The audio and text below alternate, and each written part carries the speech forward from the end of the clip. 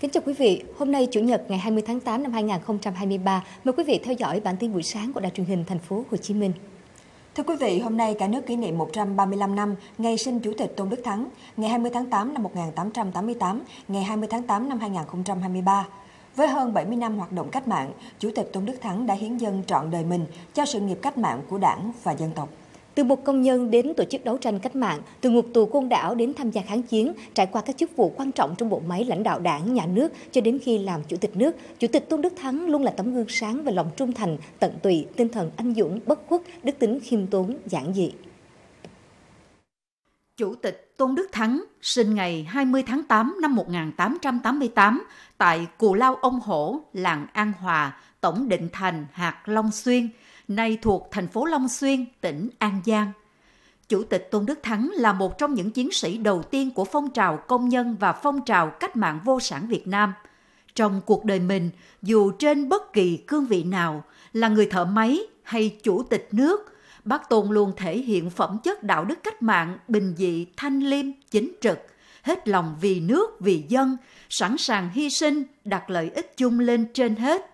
Bác Tôn luôn dành tất cả tình cảm cho đồng bào, đồng chí, sẵn lòng chia sẻ khó khăn với mọi người.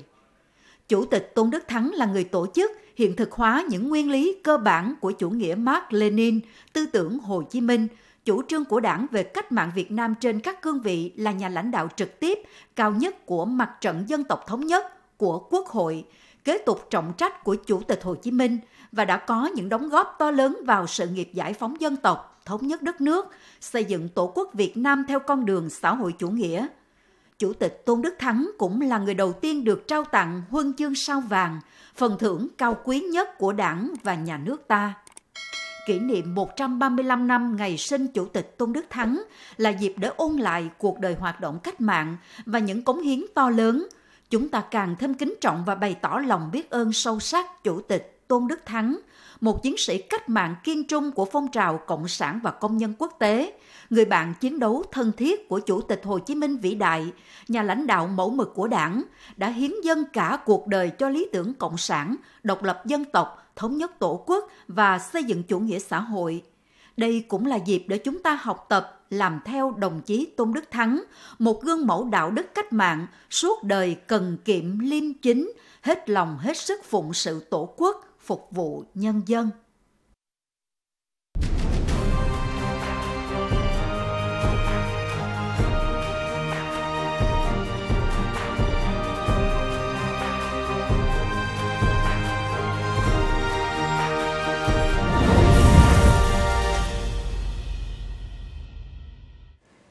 Thưa quý vị, Nghị quyết 98 về thí điểm cơ chế chính sách đặc thù phát triển thành phố Hồ Chí Minh cho phép thành phố thực hiện các dự án đầu tư phát triển hạ tầng giao thông theo các phương thức BT, BOT, PPP, TOD.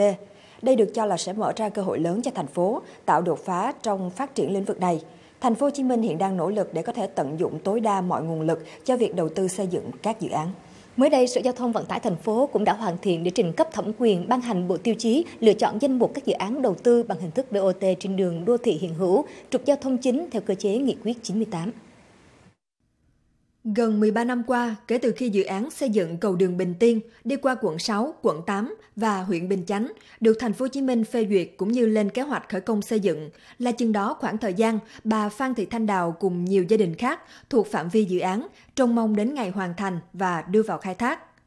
Và khi dự án dậm chân tại chỗ cũng là lúc kéo theo nhiều hệ lụy. Nếu cái dự án cầu Bình Tiên này mà mình phát triển nhanh thì người dân ở đây cũng mừng để người ta để ờ, ổn định cuộc sống làm ăn rồi lại chứ dự án này treo lâu năm rồi người ta muốn xây cất nhà hay là bán gì cũng không làm gì được hết. Mong muốn là làm càng sớm càng tốt để nó thuận tiện cho người dân đi lại. Cũng mong làm cho nhanh cho lẹ cho đường xá nó rộng sạch này nọ nó bự ra thoáng. Mong mỏi của người dân về việc dự án sớm khởi động lại là khả thi khi mới đây Sở Giao thông Vận tải đã hoàn thiện và trình cấp thẩm quyền xem xét, ban hành bộ tiêu chí lựa chọn danh mục các dự án đầu tư bằng hình thức BOT trên trục giao thông chính. Cầu đường Bình Tiên chính là một trong năm dự án đề xuất đầu tư nằm trong danh mục này. Đề xuất các dự án BOT thì à, Sở Giao thông cũng đã báo cáo Ủy ban thành phố về các tiêu chí, các tuyến đường chính cần thiết đầu tư. Thứ hai là về mặt mức độ lưu thông tốt hơn. Thứ ba là về à, phương án tài chính rồi về cái à, nguồn lực nhà đầu tư như là nguồn ngân sách hỗ trợ thì trên cơ sở tiêu chí rà soát thì sở thông cũng đã đề xuất À, trước danh mục 5 cái dự án BOT trên các tuyến đường hiện hữu thì đây là một trong những cái à, kênh đầu tư để mà có thể mang tính khả thi cao để mà mà mà có thể à, tranh thủ cái nguồn lực của xã hội hóa và giảm cái uh, ngân sách đầu tư công. Việc nhanh chóng xây dựng và hoàn thành các dự án chừng nào càng sớm giải quyết được chừng đó những nút thắt giao thông vốn cản trở không nhỏ đến sự phát triển kinh tế, xã hội, bộ mặt đô thị của thành phố nhiều năm qua. Về cái nguyên tắc thì tất cả các quy trình đều phải được thực hiện một cách đầy đủ và một cách chính xác trong cái cơ chế mới và cái nghị quyết mới thì chúng ta có được thì chúng ta có thể rút ngắn được cái thời gian giữa các quy trình để làm sao cho nó phù hợp nhất và từ đó thì cái thời gian để mà phê duyệt dự án và triển khai đầu tư xây dựng nó cũng sẽ nhanh hơn và nó gọn hơn. Các chuyên gia cũng cho rằng Nghị quyết 98 đã tạo cơ chế chính sách mới, đặc thù, thì thành phố cũng cần có những cách làm đột phá, sáng tạo để có thể triển khai tích cực các dự án. Đầu tư xây dựng cái hệ thống giao thông là cái nhu cầu cấp bách, nó là cái mạch máu của nền kinh tế. Nếu mà chúng ta vẫn cứ triển khai các dự án theo cái quy trình mà trước đây chúng ta có, thì hầu như là cái việc chậm trễ này nó sẽ ảnh hưởng rất là nhiều. Nghị quyết 98 mở ra rất nhiều cơ hội để cho chúng ta có thể phát triển hạ tầng mà ít lệ thuộc vào ngân sách công. Thì để làm được chuyện này đó thì mình rất cần có một cái sự đổi mới tư duy và đổi mới cái cách quản lý. Tức là những cái dự án như dự án BOT thì không chỉ là làm uh, hạ tầng thôi mà còn quan tâm đến những cái cơ hội phát triển những cái khu đất mà gắn kết với hạ tầng và điều này ờ, rất cần cái sự phối hợp của nhiều sở và ban ngành. Cùng với BOT, việc triển khai thực hiện hiệu quả các hình thức đầu tư khác như BT, PPP và mô hình TOD theo nghị quyết 98 cũng sẽ góp phần quan trọng để thành phố Hồ Chí Minh hoàn thiện mạng lưới giao thông đô thị cũng như thúc đẩy phát triển kinh tế xã hội bền vững. Năm 2023 là năm thứ 10 đánh dấu sự phối hợp giữa Mặt trận Tổ quốc Thành phố Hồ Chí Minh, Công an Thành phố Hồ Chí Minh và các tổ chức thành viên về đẩy mạnh phong trào toàn dân bảo vệ an ninh Tổ quốc trong tình hình mới giai đoạn 2013-2023. Trong thời gian này, chương trình đã xây dựng hàng ngàn mô hình bảo đảm an ninh trật tự, phổ biến hiệu quả tài liệu tuyên truyền phòng chống tệ nạn xã hội, đảm bảo an toàn giao thông, phòng cháy chữa cháy đến từng khu dân cư, từng hộ gia đình, ghi nhận tại ngày hội tổng kết 10 năm phối hợp thực hiện chương trình này ở quận Bình Thạnh. Diễn tập phòng cháy chữa cháy dành thời gian lắng nghe, hỗ trợ người dân giải quyết những khúc mắc trong thủ tục hành chính, đăng ký tạm trú tạm vắng và mới đây nhất, các cảnh sát khu vực chủ động tạo thuận lợi hẹn người dân ngoài giờ làm việc để thực hiện định danh cấp độ 2. Mấy bạn trẻ thì người ta đi làm thường xuyên, người ta không có thời gian để lên trụ sở công an phường thì tổ cảnh sát khu vực đã thống nhất với nhau thì mỗi ngày đi thẳng xuống địa bàn của mình phụ trách và thông báo à, à, khoảng thời gian nào cô chú anh chị đi làm về thì có thể xuống trực tiếp ngay chỗ mà gần nhà mình để uh, trực tiếp làm. Khu phố nhờ cái sự đoàn kết nhất trí trong uh, ban điều hành cũng như là các tổ dân phố và các anh em hội viên ở ban bảo vệ dân phố về nghiệp vụ của công an. Do đó là ở khu phố uh, tuyên truyền, vận động, hỗ trợ những gia đình có con em là đi cai nghiện trở về hòa nhập với cộng đồng. Trong à, ngày hội ngày hôm nay thì à, mặt trận tổ quốc các tổ chức thành viên à, cũng đã có một cái mô hình mới đó là bình xét cảnh sát khu vực thân thiện vì nhân dân phục vụ. À, trong số 230 cảnh sát khu vực trên toàn địa bàn của quận, trong số đó thì có 26 gương tiêu biểu đạt bình xét với tỷ lệ cao. Tại ngày hội, Mặt trận Tổ quốc và Công an đã ký kết quy chế phối hợp đẩy mạnh phong trào toàn dân bảo vệ an ninh Tổ quốc trong tình hình mới, giai đoạn từ 2023 đến 2028, để đưa phong trào đi vào chiều sâu, có sức lan tỏa mạnh mẽ hơn, huy động sức mạnh của cả hệ thống chính trị và toàn dân để bảo đảm an ninh trật tự, xây dựng cuộc sống bình yên, hạnh phúc. Cùng với những thành tựu quan trọng đạt được của giáo dục và đào tạo, giáo dục nghề nghiệp đã có nhiều kết quả đáng tin cậy, góp phần hình thành đội ngũ lao động lành nghề, nhiều năm qua, mạng lưới cơ sở giáo dục nghề nghiệp phát triển từng bước theo hướng mở, cơ bản phù hợp xu thế phát triển. Tuy nhiên, trong bối cảnh hiện tại, tại thành phố Hồ Chí Minh, việc khai thác giáo dục nghề nghiệp đang đứng trước nhiều thách thức.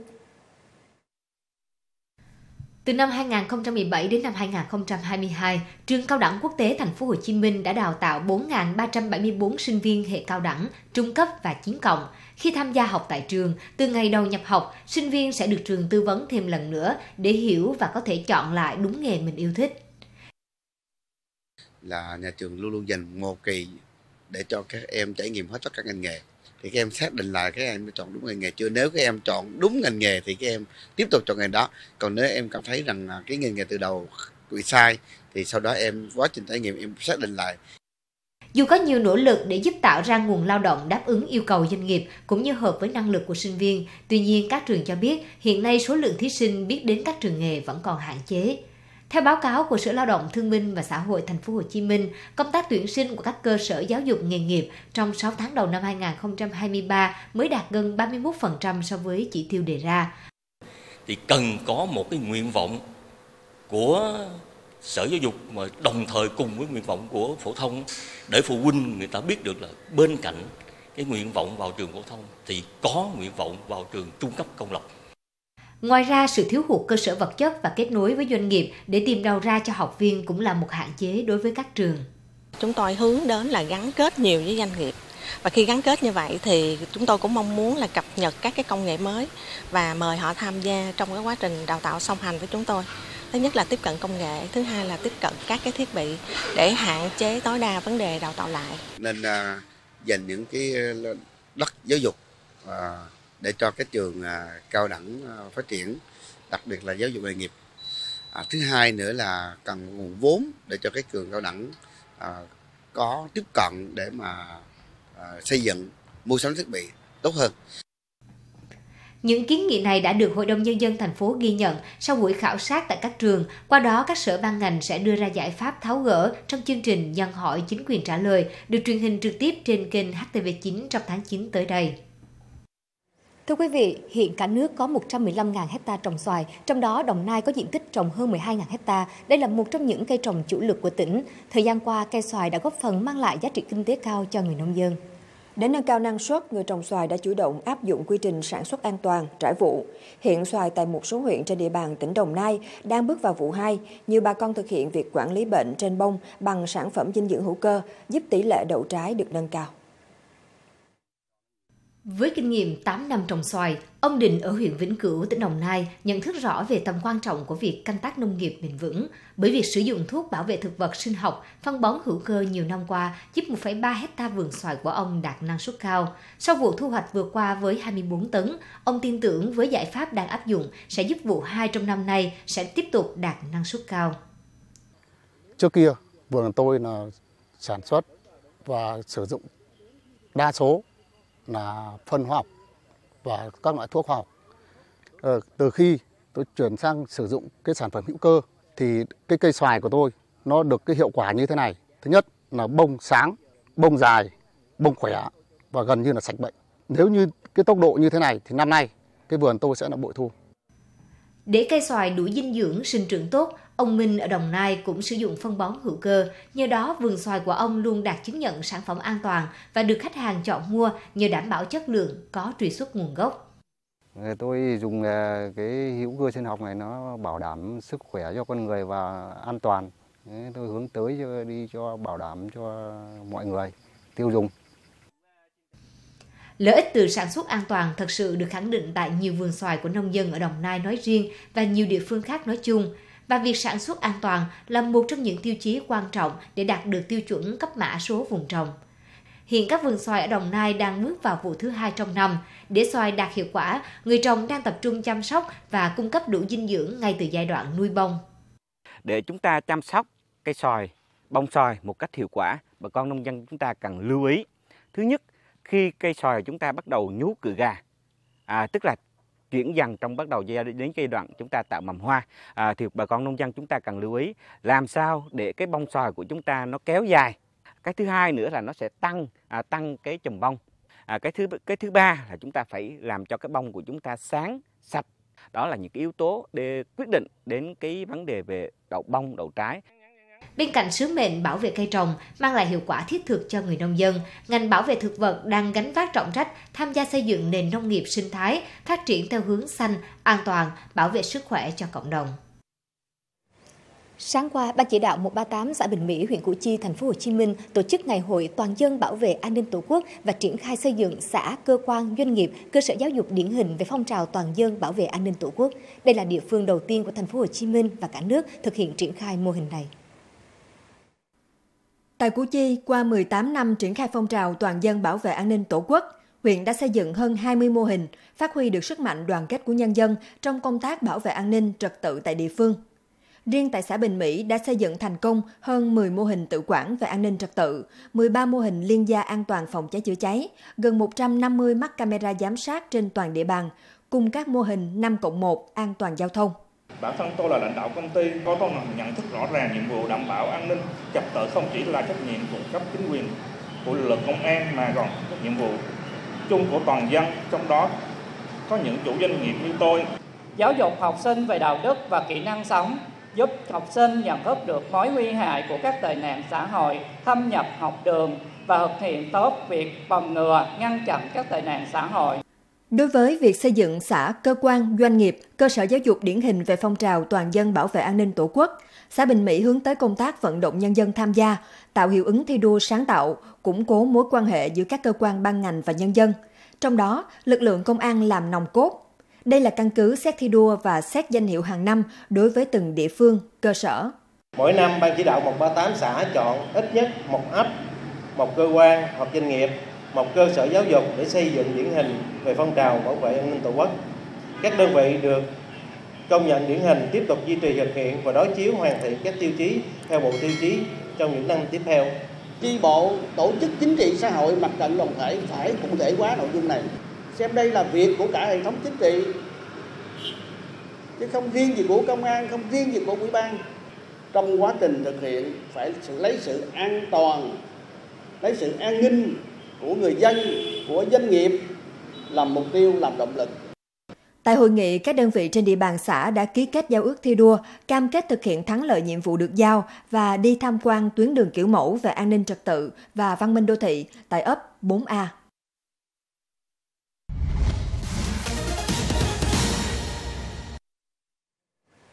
Chuyển sang phần tin thế giới, ngày 19 tháng 8, Điện Kremlin cho biết Tổng thống Nga Vladimir Putin đã có chuyến thăm không báo trước tới trụ sở quân khu miền Nam ở thành phố Rostov-on-Don, gần với biên giới của Ukraine. Tại đây, ông đã gặp Tổng tham mưu trưởng Valery Gerasimov và các chỉ huy quân sự cấp cao khác. Video được truyền thông Nga công bố cho thấy ông Putin di chuyển đến sở chỉ huy bằng ô tô, được Tổng tham mưu trưởng Gerasimov và Cục trưởng Cục tác chiến Bộ Tổng tham mưu quân đội Nga Sergei Ruskoy tiếp đón. Tuy nhiên vẫn chưa rõ cuộc họp diễn ra khi nào. Theo Điện Kremlin, ông Putin đã nghe báo cáo mật từ Tổng tham mưu trưởng Gerasimov và các chỉ huy cấp cao khác tham gia chiến dịch quân sự ở Ukraine. Đây là lần đầu tiên Tổng thống Putin đến sở chỉ huy tại thành phố Rostov-on-Don kể từ sau vụ nổi loạn của lực lượng Wagner hồi cuối tháng 6. Các tay súng Wagner khi đó đã kiểm soát tòa nhà tổng hành dinh của quân khu miền Nam. Cũng trong ngày 19 tháng 8, Bộ Quốc phòng Nga đã báo cáo một loạt cuộc tấn công bằng máy bay không người lái của Ukraine nhắm vào các mục tiêu ở thành phố Novgorod, phía tây bắc Moscow và thành phố Belgorod giáp biên giới với Ukraine. Số liệu mới nhất cho thấy biến thể ER.5 của virus SARS-CoV-2 đang chiếm ưu thế tại Trung Quốc. Tuy nhiên, số ca bệnh nặng và tử vong do COVID-19 tại nước này vẫn ở mức thấp. ER.5 hay còn được gọi là ERIS là một nhánh của biến thể phụ XBB của Omicron. Theo Trung tâm Kiểm soát và Phòng ngừa Dịch bệnh CDC Trung Quốc, tỷ lệ mắc COVID-19 tại nước này đã giảm đều đặn từ cuối tháng 5, trong đó mức thấp nhất 12% được ghi nhận vào giữa tháng 7, nhưng đến cuối tháng qua đã tăng lên 13,4%. Xu hướng gia tăng các ca mắc COVID-19 cũng được ghi nhận tại nhiều quốc gia khác. Theo WHO, thế giới đã ghi nhận 1,5 triệu ca nhiễm mới từ ngày 10 tháng 7 đến ngày 6 tháng 8, tăng 80% so với tháng trước đó. Trang South China Morning Post dẫn một chuyên gia về bệnh truyền nhiễm cho biết, số ca nhiễm gia tăng là do khả năng miễn dịch của những người từng mắc COVID-19 đã suy giảm theo thời gian. Tuy nhiên, theo CDC Trung Quốc, số ca bệnh nặng và tử vong tại nước này trong tháng 7 vừa qua đã giảm so với tháng trước đó. Biến thể EG.5 cũng làm gia tăng số ca mắc mới tại nhiều nước khác, nhưng không làm tăng số ca nặng và tử vong. EG.5 được phát hiện lần đầu tiên tại Indonesia vào ngày 17 tháng 2 năm nay. Hiện nay, một số hãng dược đang có kế hoạch tung ra vaccine phòng COVID-19 mới vào mùa thu này, nhắm vào các biến thể XBB có nguồn gốc từ Omicron. Ngày 18 tháng 8, tỷ phú Elon Musk thông báo mạng xã hội X trước đây là Twitter của ông sẽ loại bỏ tính năng cho phép người dùng chặn bài đăng từ những tài khoản không mong muốn tương tác. Thông báo trên nền tảng truyền thông xã hội X, ông Musk nêu rõ tính năng chặn sẽ bị xóa trừ tin nhắn trực tiếp. Như vậy, tùy chọn chặn vẫn có sẵn cho ứng dụng tin nhắn trực tiếp giữa người dùng trên nền tảng này tính năng chặn được sử dụng để người dùng hạn chế những tài khoản cụ thể để liên hệ, xem bài đăng hoặc theo dõi trên nền tảng X. Tuy nhiên, ông Musk cho biết sẽ giữ lại chức năng tắt tiếng, cũng là một dạng hạn chế tương tác nhưng tài khoản bị tắt tiếng vẫn có thể theo dõi bài đăng của người dùng. Đây được xem là một trong những động thái gây tranh cãi khác của tỷ phú giàu nhất thế giới trong nỗ lực cải tổ mạng xã hội X. Mới đây nhất, ông Musk thông báo mạng xã hội X sẽ tạm thời hạn chế số bài đăng mà người dùng có thể đọc mỗi ngày trong động thái nhằm hạn chế việc các công ty trí tuệ nhân tạo AI sử dụng dữ liệu của nền tảng này. Giới chức Peru mới đây cho biết xác một con cá voi dài khoảng 10 mét đã trôi dạt vào bờ biển gần thủ đô Lima. Viện Hải dương Peru đã cử nhân viên tới để xử lý hiện trường. Đây là một con cá voi vây. Đoạn video cho thấy nó bị thương ở phần thân và phần đuôi. Các chuyên gia đã lấy mẫu xét nghiệm để xác định nguyên nhân cái chết của con cá voi này. Con cá voi trôi dạt vào bờ biển của khu vực Punta Hermosa, gần thủ đô Lima. Nhà chức trách cảnh báo người dân không nên đến gần xác cá voi. Một số người cho biết xác chết đã bốc mùi. Trở lại với phần tin trong nước, trước tình hình kinh doanh mặt hàng gạo có nhiều biến động trong thời gian gần đây, Cục Quản lý thị trường Thành phố Hồ Chí Minh cho biết sẽ tăng cường công tác quản lý địa bàn, nắm bắt tình hình thị trường, diễn biến cung cầu, giá bán của mặt hàng gạo để xây dựng phương án kiểm tra, giám sát và đề xuất các giải pháp góp phần nhằm ổn định thị trường. Theo đó, Cục Quản lý thị trường Thành phố Hồ Chí Minh sẽ phối hợp với các lực lượng chức năng theo dõi tình hình giá gạo ở các cơ sở kinh doanh đầu mối buôn bán lẻ, chợ, siêu thị, trung tâm thương mại, kho gạo trên địa bàn Thành phố Hồ Chí Minh nhằm kiểm soát nguồn cung, giá bán, ngăn chặn các hành vi vi phạm về niêm yết giá, đầu cơ, găm hàng, định giá mua, giá bán bất hợp lý đối với mặt hàng gạo đồng thời tăng cường kiểm tra, ngăn chặn việc vận chuyển, kinh doanh gạo không rõ nguồn gốc, xuất xứ trên thị trường thành phố Hồ Chí Minh. Sở Giao thông Vận tải Thành phố Hồ Chí Minh vừa thông báo tạm ngưng thi công các công trình trong phạm vi kết cấu hạ tầng giao thông đường bộ trên địa bàn thành phố nhân dịp lễ Quốc khánh 2 tháng 9 năm 2023 sắp tới đây. Sở Giao thông Vận tải Thành phố Hồ Chí Minh yêu cầu chủ đầu tư tất cả các công trình, đôn đốc các đơn vị để nhanh tiến độ thi công đào đường, vỉa hè, khẩn trương tái lập lại toàn bộ các đoạn đang thi công, xong trước ngày 1 tháng 9 các công trình thi công có rào chắn chiếm dụng mặt đường đang khai thác được phép tồn tại hàng rào công trường nhưng phải thu gọn hàng rào, làm vệ sinh, dọn dẹp sạch sẽ khu vực công trường thi công. Sáng qua, Ủy ban Mặt trận Tổ quốc Việt Nam quận Tân Bình đã tổ chức chương trình đi bộ đồng hành phát động ủng hộ quỹ vì người nghèo năm 2023 với sự tham gia của hơn 2.500 người đang sinh sống và làm việc trên địa bàn quận.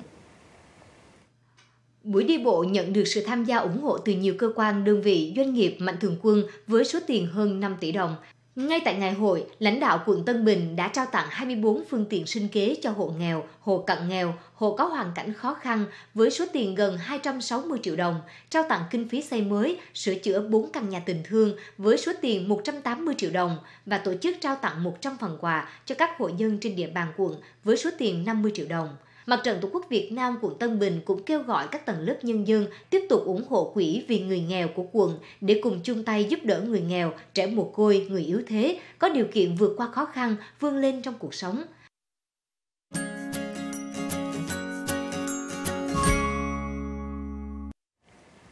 Tưởng nhớ 15 năm ngày mất nhà văn Sơn Nam, nhà xuất bản trẻ đã tổ chức buổi trò chuyện về nhà văn Sơn Nam và các tác phẩm của ông, đồng thời ra mắt hai tựa sách mới, Nhà văn Sơn Nam, Những góc đời riêng lạ và Đi và ghi nhớ. Buổi trò chuyện có sự tham dự của đại diện gia đình nhà văn Sơn Nam và thân hữu, các tác giả và những người có đóng góp to lớn cho việc ra đời hai quyển sách cùng đông đảo bạn đọc. với Đi và Ghi Nhớ là tựa một bài báo tiêu biểu của nhà văn Sơn Nam thuở sinh thời, đăng trên tạp chí Xưa và Nay năm 1997 và được thống nhất chọn làm tựa của tập sách. Điểm mới của tập sách hơn 300 trang này là số lượng bài báo dài dặn với 56 bài ở các chủ đề, thể loại khác nhau, nhưng chủ yếu là khảo cứu các vấn đề lịch sử, văn hóa, tập quán của con người Sài Gòn Nam Bộ trong quá khứ và hiện tại – Quyển sách là tổng hợp đầy đủ nhất những bài báo đăng trên tạp chí Xưa và Nay cùng một số báo khác trước năm 1975 của nhà văn.